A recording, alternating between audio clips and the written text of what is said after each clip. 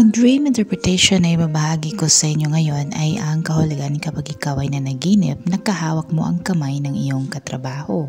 Ito ang aking tugon mula sa katanungan ng isa nating taga-subaybay. Kishoutout sa iyo ma'am, sana ang interpretasyon na ito ang sagot sa iyong katanungan. At para na din sa inyo dyan na may kantulad sa panaginip na ito, paalala lamang na ito ay isang general interpretation. Kaya hinihiling ko sa inyo na unawain, mag-connect at magiging open and receptive sa mga impormasyon na ibabahagi ko sa inyo ngayon. At kung ito ay nag-resonate bawat isa sa inyo, please give us a comment at huwag natin kalimutang mag-like, mag-subscribe at i-hit natin ang notification bell para magiging updated kayo lagi. At sana i-follow nyo din ang aking Facebook page, Troy TV at i-share nyo na din. Maraming salamat!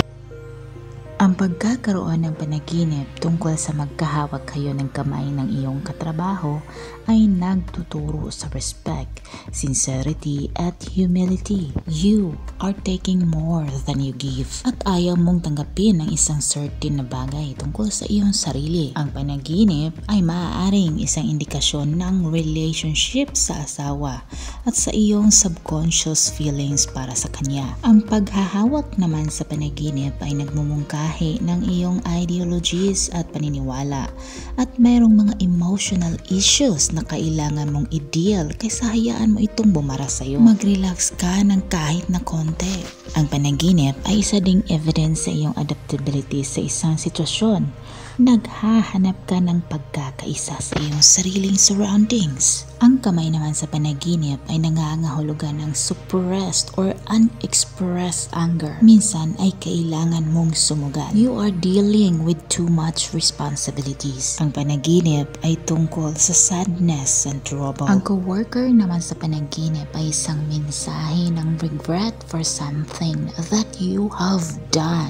Kailangan mong i-reevaluate at i-manage ng mabuti ang iyong resources bago mo ito ma maubos. And you need to live up to the vows and promises you have made. Ang panaginip ay nagtuturo din sa iyong subconscious dislike sa kanya o sa kanila.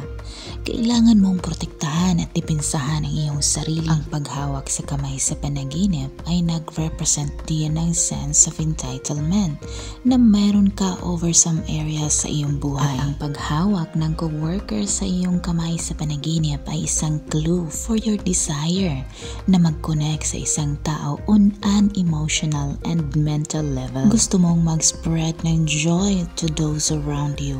Kailangan mo lang tingnan mabuti ang iyong mga kilos and motives dahil ang panaginip minsan ay ang iyong desires to conform and fit in. Nagpapakita ka ng courage by standing by your own beliefs. Maaari din na ang panaginip ay nag-refer sa iyong body and internal working.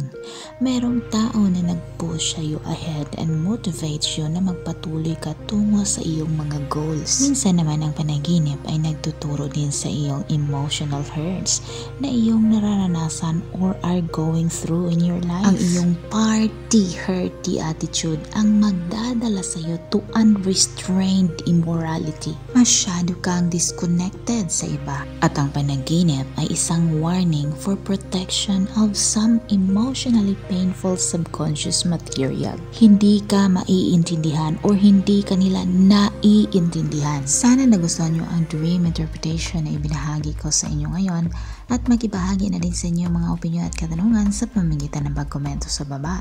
At kung bago ka pa lang sa akin channel ay huwag kalimutang mag-like, mag-subscribe at i-hit din ang notification bell para magiging updated kayo lagi. At sana i-follow nyo din ang aking Facebook page, Direct TV at i-share nyo na din. Maraming salamat hanggang sa mali. Paalam!